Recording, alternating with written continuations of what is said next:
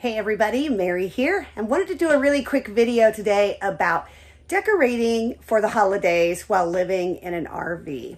So as you know, when you live in an RV, there just isn't a lot of extra space to store a ton of decorations or just really extra things period.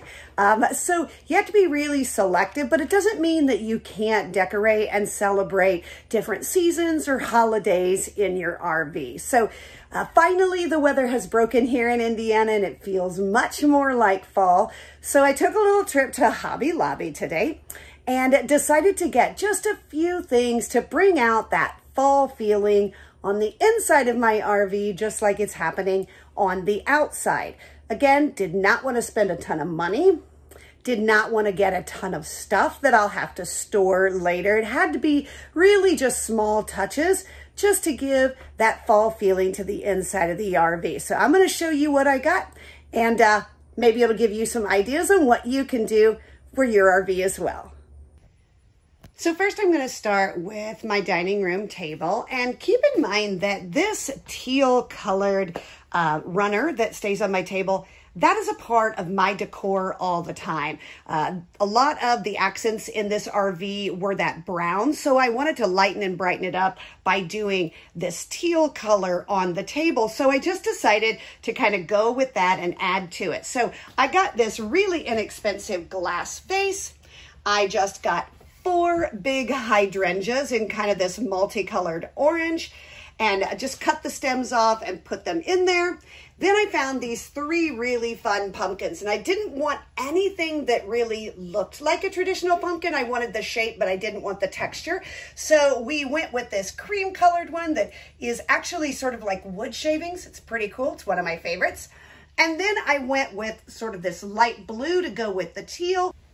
And then I got this orange one, which is kind of a medium size. It's more of a burlap fabric uh, and a little bit of metal on those leaves. And I got that just to tie in with the orange colors of the hydrangea flowers.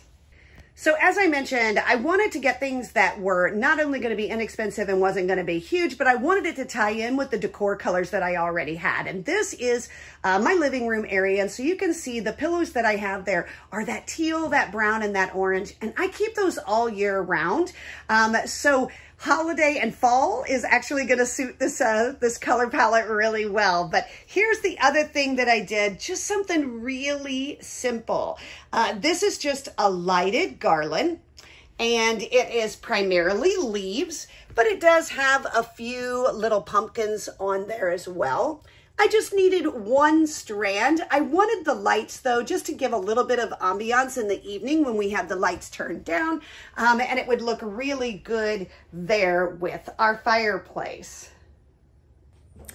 So there you go. That's it, folks. Um, it's not a ton, but it just gives a little bit of that fall feeling. So just to recap, on the table, we have a clear vase, I had four stemmed orange hydrangeas that I cut the stems off and put in that vase. I found three different pumpkins, all in different textures, sizes, and colors.